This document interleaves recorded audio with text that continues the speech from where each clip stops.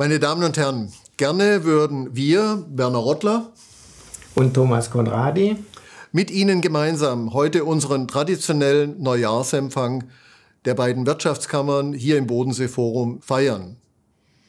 Übrigens, es wäre der 50. gemeinsame Neujahrsempfang der Handwerkskammer Konstanz und der Industrie- und Handelskammer Hochrhein-Bodensee. Der 50. Ja, und gerne würden wir in Gesprächen, in Reden Bilanz ziehen wollen über das Jahr 2020 und einem Redner, der etwas zu sagen hat, Gelegenheit geben, ein Blitzlicht auf das, was vor uns steht, zu werfen.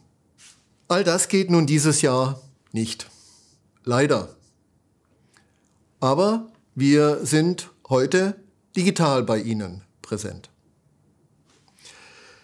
Vor einem Jahr war meine Botschaft, gelänge es uns, in einer komplexen Welt, in einer sich schnell wandelnden Gesellschaft nicht nur den Status quo zu verwalten, sondern auch Zukunft zu gestalten, dann, ja dann, dann wäre 2020 ein gutes Jahr gewesen. Das Jahr 2020 kam und es kam völlig anders als gedacht. Corona ist eine Prüfung, der wir uns gemeinsam stellen müssen. Solidarität ist es von uns allen gefordert. Da reicht das Klatschen auf dem Balkon für das Klinikpersonal nicht aus, das ohnehin deutlich nachgelassen hat. Denn je länger die Einschränkungen dauern, desto stärker weicht die Solidarität dem Egoismus, Grenzen werden wieder wichtiger, die Ungleichheit der Gesellschaft nimmt zu. Und auch die Frage, die Frage, wie die gewaltigen Summen der staatlichen Hilfeprogramme zu schultern sind, wird immer häufiger gestellt.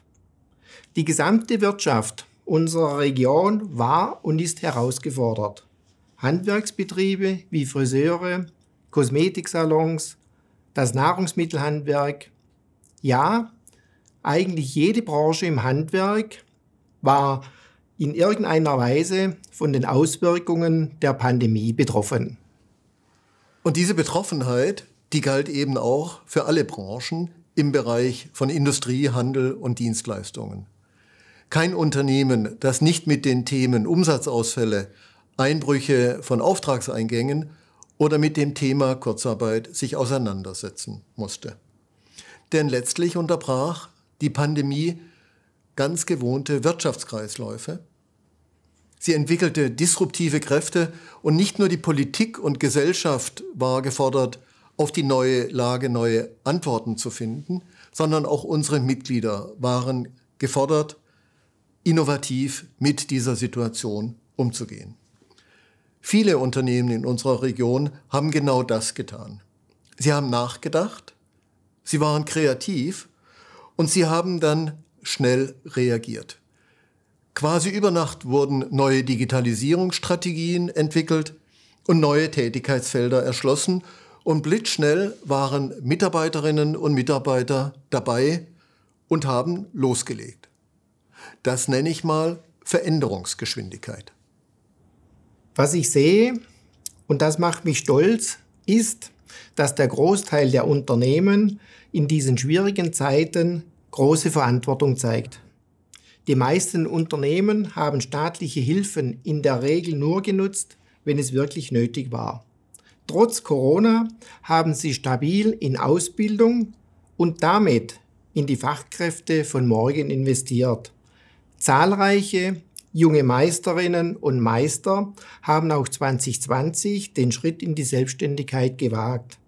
Und viele von ihnen haben der Krise mit neuen Ideen getrotzt. Wir danken all jenen, die die Zukunft fest im Blick haben, die nicht nur in Quartalen, sondern in Generationen denken.